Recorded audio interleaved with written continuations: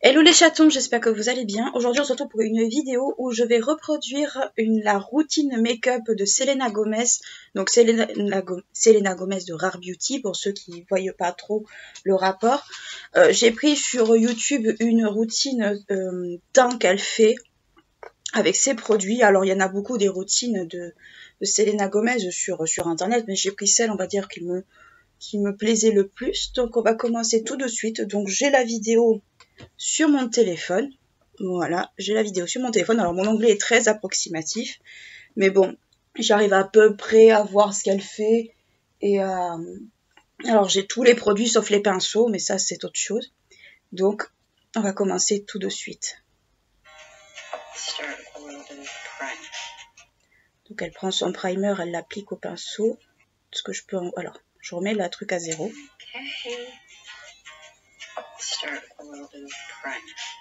Donc là, elle prend son, son primer, donc c'est la base lumineuse, et elle l'applique au pinceau. Donc moi, je n'ai plus cette base, ça fait un moment que je l'ai plus.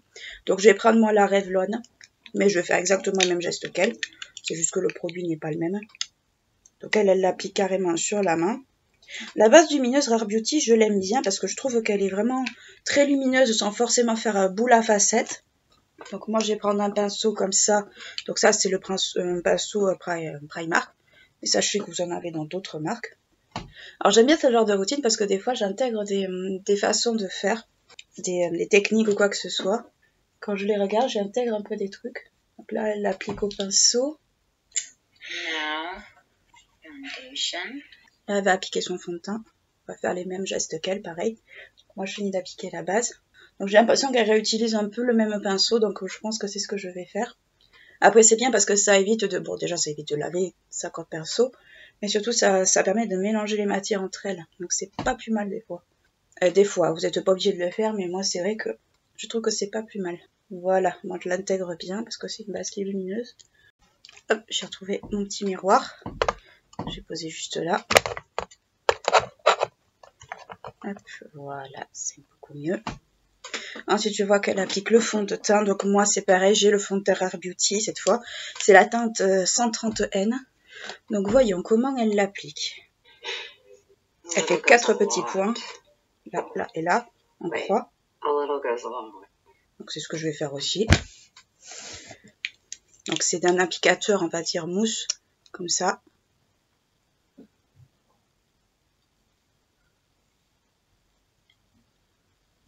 Je retrempe un peu parce que j'en ai pas suffisamment sur l'applicateur. Voilà. Hop, voilà.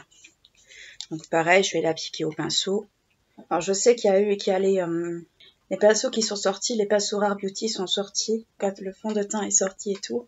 Alors j'ai l'impression qu'elle met son fond de teint juste on va dire pour couvrir, pour commencer à couvrir, mais pas forcément on va dire pour, euh, euh, flouter à proprement parler. Moi, c'est vrai que j'ai laissé tomber depuis des années l'application fond de teint parce que bah, j'aimais pas forcément ça. Enfin, l'application du, fond de teint en pinceau, je veux dire. Il se dégrade bien, mais on voit quand même encore toutes les imperfections en transparence. Ça, c'est quelque chose par contre qui me gêne beaucoup. Ça, c'est chacun le, se le voit, ça. Moi, ça me gêne un peu, mais bon, après. Hop. Ensuite. Donc là, de la séquence que j'ai, elle en remet un peu sur les, euh, sur les ailes du nez, enfin sur les ici et là. Donc pareil, je vais faire la même chose. Alors elle, elle fait des mouvements rotatifs un peu parce que c'est plus aérien, c'est plus, euh, on va dire, c'est plus, euh, plus fondu, si j'ai bien compris.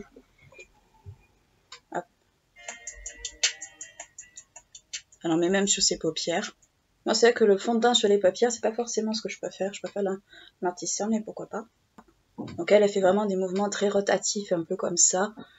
Moi, c'est vrai que je suis pas forcément toujours très habituée. Après, c'est un fond de teint qui est léger. Hein. Ne vous attendez pas à une très très grosse couvrance. C'est un fond de teint qui est très très très léger. Et les babyères commencent à me fatiguer sérieusement. Je pense que je vais recourir à nouveau au bandeau.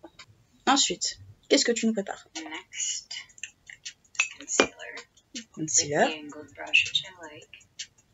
Donc elle en met par petites touches au niveau de son cerne, ici, ici, et, et, et, et, et au niveau du sourcil. Ok, et eh bien on va le faire aussi. Donc moi c'est pareil, c'est la teinte 130N. Moi je suis pas trop fan de ce genre d'application. Je retrempe parce que j'en ai pas assez, clairement. Ici. C'est pour ça que je suppose que c'est pour, illuminer, euh, pour illuminer le sourcil. Et à nouveau, ici. Et à dégrade avec le pinceau concealer, je suppose moi je ne l'ai pas. moi je vais utiliser un pinceau un peu, un peu différent. Voilà, là et là. Donc euh, moi je vais prendre bon, je vais prendre un pinceau comme ça, mais elle fait on va dire des mouvements par en tapotant. Donc je vais faire pareil qu'elle. Hum, il pique ce pinceau. Hum. Prends un autre pinceau parce que là il pique. Hop, je prends le, le, le Fenty, il est beaucoup plus gros, mais euh, j'ai un meilleur, euh, meilleur, on va dire, meilleure approche. Hop, moi, je tapote, je fais comme elle, je tapote parce qu'elle, elle tapote. Alors, son pinceau est plus petit, hein, on en convient, mais voilà. Okay. Foundation, concealer. I need a coffee. Day is more of a natural day. Donc là, elle met son blush.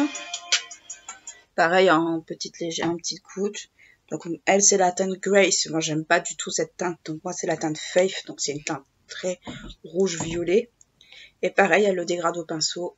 Alors, je suis désolée si ça s'est assombri. Il y a un vent à décorner les cocus aujourd'hui. Hop, je fais juste ces petits points-là.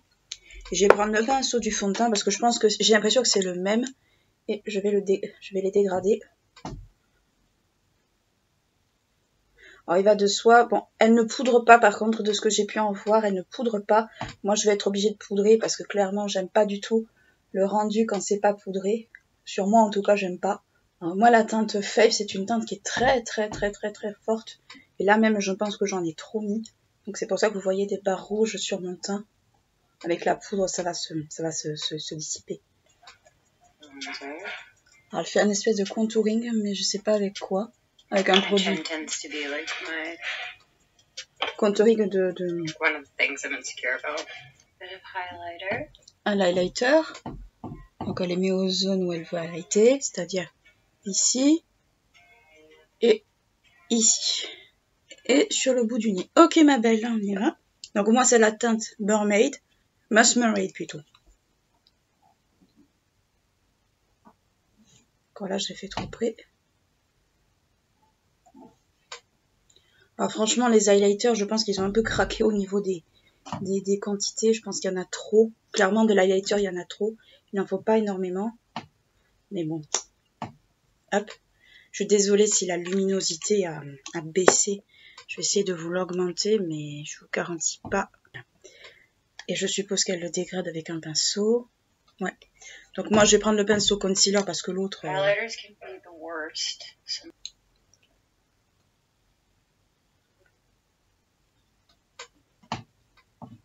Elle fait des mouvements très circulaires pour l'highlighter. Mais j'ai l'impression qu'elle se sert aussi de son highlighter comme d'un comme d'un fard à paupières en fait.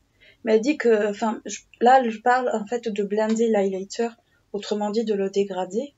Alors c'est vrai que de le mettre au pinceau, c'est assez subtil, voire même ça le fait disparaître, mais ça laisse un glow qui est pas non plus désagréable.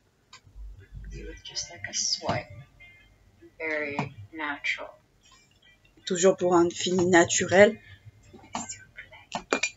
Et là, elle utilise un rouge à lèvres soufflé. Donc moi, j'en ai un. Qui est, qui qui est, qui est où tu es passé? Donc clairement, elle ne, poudre pas du tout son teint. Moi, je suis obligée de le faire parce que ça, ne tient pas. Donc moi, c'est la teinte, euh, alors, Fearless. Donc voilà ce que ça donne, voilà à peu près ce qu'elle fait. Moi je pense que je vais compléter on va se retrouver juste après. Donc voilà ce que ça donne, routine complétée, sourcils et compagnie. Alors, c'est une très jolie routine si vous aimez vraiment les finis très naturels. Moi, c'est pas forcément ce que j'aime, mais c'est vrai que le fait déjà d'appliquer la base au, pinceau, je trouve qu'elle s'applique beaucoup mieux qu'au doigt. Surtout la Revlon, parce que la Revlon, franchement, elle est bien, mais c'est une horreur. Mais je pense que je vais garder euh, l'idée de l'appliquer au pinceau, ça sera peut-être beaucoup plus facile. Après, dégrader le, blush, le blush liquide au, pinceau, je suis beaucoup moins fan parce que selon les couleurs, ça va se fondre plus ou moins facilement. Donc, euh, à voir honnêtement. Là, moi je l'ai fait, mais j'ai poudré, j'ai mis mes taches de rousseur, j'ai fait quand euh, j'ai quand même complété ma routine mais j'ai pas, je me suis quand même basée sur la sienne. Donc voilà, c'est une très jolie routine si vous aimez les finis très naturels.